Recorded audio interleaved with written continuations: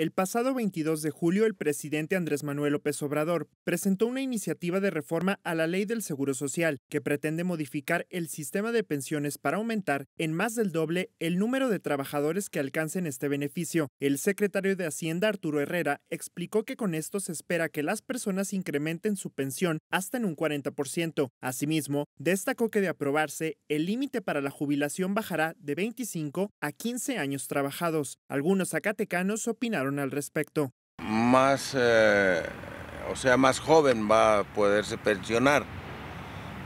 Entonces, pues, si puede pensionarse y a la vez, pues, poner o, dedicarse a otras actividades, porque va, si se va a pensionar en 15 años, pues va a tener más tiempo de vida para, para ser productivo.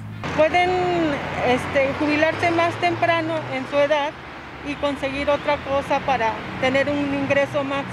Esta propuesta fue avalada por Carlos Salazar Lomelí, presidente del Consejo Coordinador Empresarial, pese a que la aportación patronal para el retiro aumentará del 5.5 al 13.1%. Sin embargo, ciudadanos piensan que esto pudiera llegar a ocasionar problemas con los patrones, quienes en una primera etapa podrían no estar de acuerdo.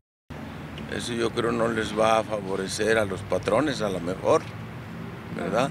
Tienen que respetar, bueno, las, las leyes son las leyes, ¿verdad? Bueno, hubo una reforma en el 2015, hubo una reforma, pero ahorita en la actualidad este, hay un sinnúmero de problemas en lo que es eh, el ISTESAC. Lo que sí se, lo que sí se está quisiéramos que se promocionara y que se llevara a cabo, que fuera un instituto únicamente de pensiones.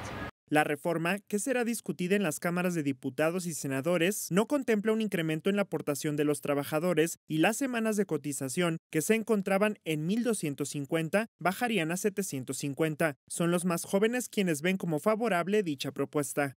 Pues me parece mejor para las nuevas generaciones que para que sean un poco más libres a la hora de tener menos, pues menos tiempo de trabajar para poder obtener una jubilación.